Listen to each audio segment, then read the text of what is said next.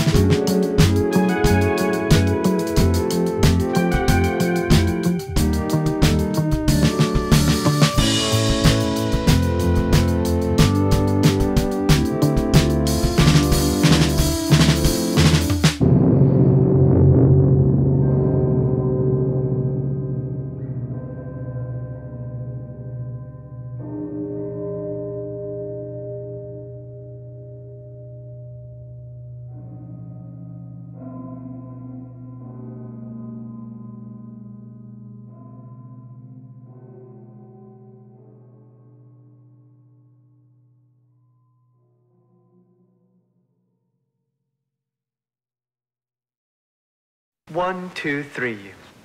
Just pitch up your voice.